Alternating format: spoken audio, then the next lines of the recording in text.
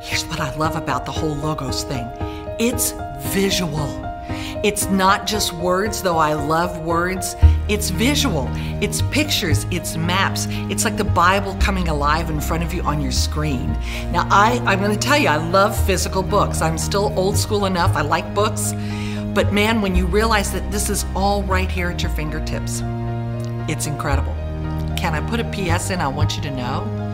I led a tour of Israel last year. I had to prepare 36 messages on people in the Bible.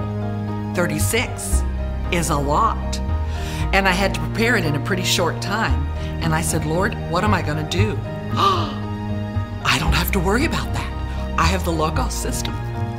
And it was so incredibly helpful to me. Everything was at my fingertips. I was able to pull it together quickly and offer something of meat and substance on that trip.